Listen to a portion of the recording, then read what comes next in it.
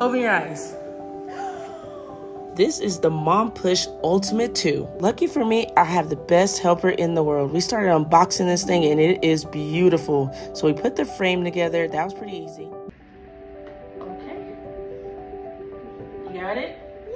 Yeah. This Mompush stroller comes with a reversible seat and a bassinet. Here's the bassinet. This is reversible. It's lined. It has a cover to keep baby warm and cozy. Also comes with a foot cover, a rain cover, and a car seat adapter. Now let's see what mommy thinks.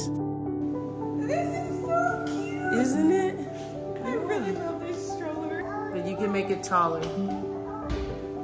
Right now. For Yes. Oh. I'm gonna remove the bassinet, so there's that. So then I'm going to put this bar. Okay. You slide this on. Love it, it's Mompush. It's so stylish. It's I love it. it's totally us.